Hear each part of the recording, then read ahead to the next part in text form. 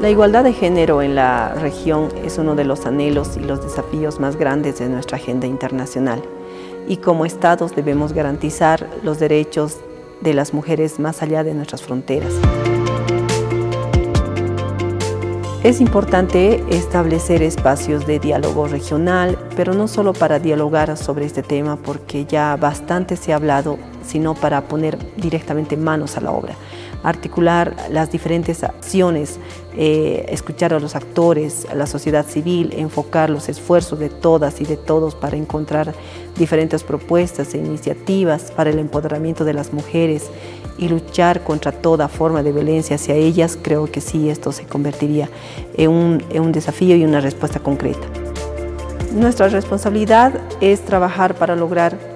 un mundo para vivir bien, para todas y todos. Esto no es posible sin la participación de los diferentes actores.